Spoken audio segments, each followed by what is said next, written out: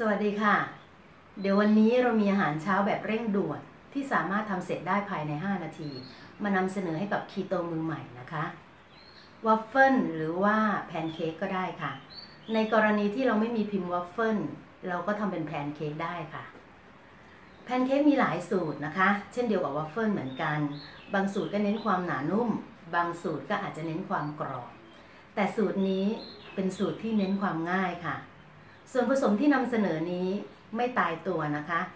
ถ้าคีโตมือใหม่ท่านใด อาจจะมีส่วนผสมไม่ครบถ้วนตามนี้ ก็อย่าได้ลังเลที่จะทำค่ะ เพื่อคีโตมือใหม่ทั้งหลาย จะได้ไม่เผลอไผลวิ่งเข้าเซเว่นไปซะก่อนไงคะ เราใช้แป้งมะพร้าวกับแป้งอัลมอนด์หรือว่าจะเป็นตัวใดตัวหนึ่งก็ได้นะคะ มีไข่ไก่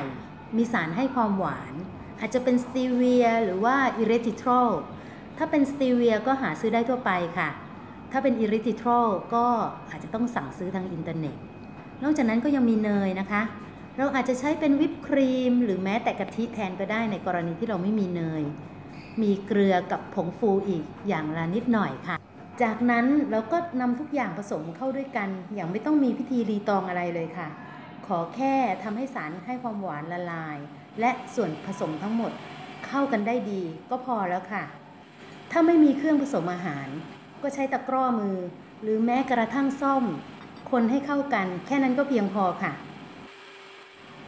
การรับประทานอาหารแบบคีโตจินิก จะยากแค่การเริ่มต้นเท่านั้นแหละค่ะ แต่ถ้าเราเริ่มต้นได้แล้ว ทุกอย่างก็จะเป็นเรื่องง่ายแล้วล่ะค่ะ เมื่อส่วนผสมของเราเข้ากันแล้ว เราก็นำลงทอดในกระทะเป็นแพนเค้ก หรือนำใส่ในพิมพ์วัฟเฟิลได้เลยค่ะ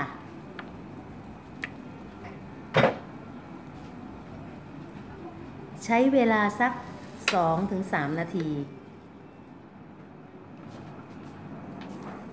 เราก็จะมีอาหารเช้าร้อนๆ ง่ายๆ ที่สามารถทำเสร็จภายในเวลาอันรวดเร็วไว้รับประทานแล้วค่ะจากนั้นเราก็อาจจะท็อป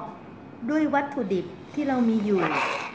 แต่ถ้าเราไม่มีวัตถุดิบอะไรเลย ก็ไม่ต้องกังวลใจนะคะ สามารถรับประทานได้เลยค่ะ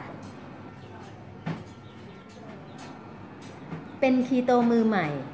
ต้องเข้มแข็งสตรอง